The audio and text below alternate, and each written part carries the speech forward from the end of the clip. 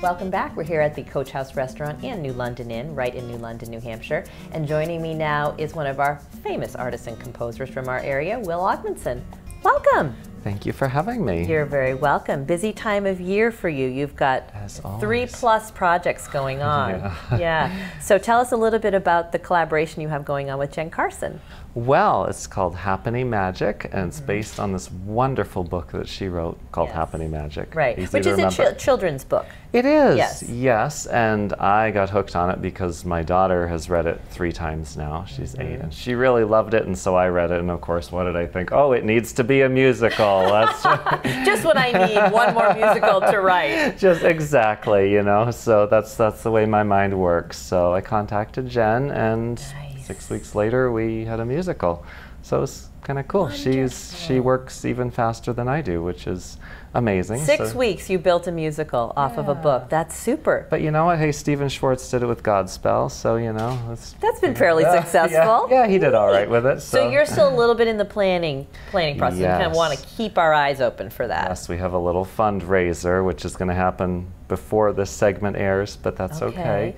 And then we're going to be shopping it around to different theaters, so kind of wonderful. Kind of I'm sure we'll see it around here. There's so much so. theater for young people in this area. It will it will rear its head Neat. somewhere soon. wonderful. And then Las Posadas is back. I'm yes. so happy. Me too. Me too. We are going to be back again. We're going to be starting our tour at BU down in Boston, and then Ooh. we're going to be ending the tour up in Berlin, New Hampshire, and then kind of hitting a whole bunch of places in between too. We've got about 25 shows sprinkled all over northern New okay. England. Starting probably after Thanksgiving and yes. moving into December. Yeah, starting late November. Mm -hmm. Now, for anybody who missed it the first time around, talk about that beautiful story. Well, it's based on a book by Tomie dePaola called The Night of Las Posadas, and it's about Mary and Joseph.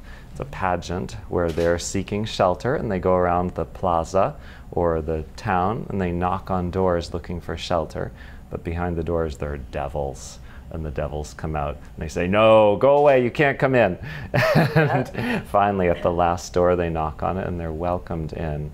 And so I had all kinds of fun with the devils. I had a whole lot of fun, and I'm so glad Tomie let me have that kind of fun with the devils. We have an Elton There's John all different devils, yes. Oh yes, yes hip hop devils. There's Queen Elizabeth. There's uh, all you name it, we've got it. So it's a great retelling of a traditional story. You know, jazzed up quite a bit. Yeah, yeah. yeah. Thanks to Tomie's wonderful book and yeah. the, you know the pre-existing tradition from Mexico, we we did our own take on it, and we've Neat. we've had some success. So that should be a lot of fun. That it's wonderful. I saw it a couple years ago, and I would just have to say, do not miss it when it comes around this time. It's really special. And you also have a couple holiday concerts coming up in Plymouth. Do up in Plymouth? Yes, and those are going to be late November. You can go to my website, willogmundson.com. Mm -hmm. Those are on there. There are going to be two of them. Okay. And that's going to be a whole lot of fun. And then I'll be on the road after that. So. Okay let's talk a little bit more about the holiday concerts. Is it is it traditional music for that time of year? Well, yeah, there will be some traditional stuff. It's at the end of November, so it's sort uh-huh. of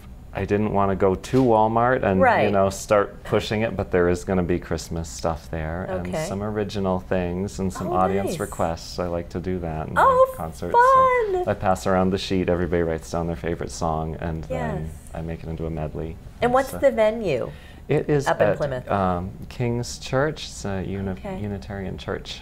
Great. Sounds like so. a great place to spend spend a day because Plymouth is a really nice city. It reminds me a lot of New London. There's plenty to do there. It's a nice little college town. It so is, it is. It's very it's very hip for a little town. I agree. yeah, good. Well, the best way to keep track of you, which is not as easy, is to check out your website, as you mentioned earlier before, and get all your concert dates and everything that's coming up, and um, news about the musical when that gets rolling too. Yes, any day now. So very exciting. Well, great. Well, we're so blessed to have you in our in our region because you're such a talent and you always are providing us with so much entertainment. So oh. thank you very much. Well, thank you for having me. Best wishes.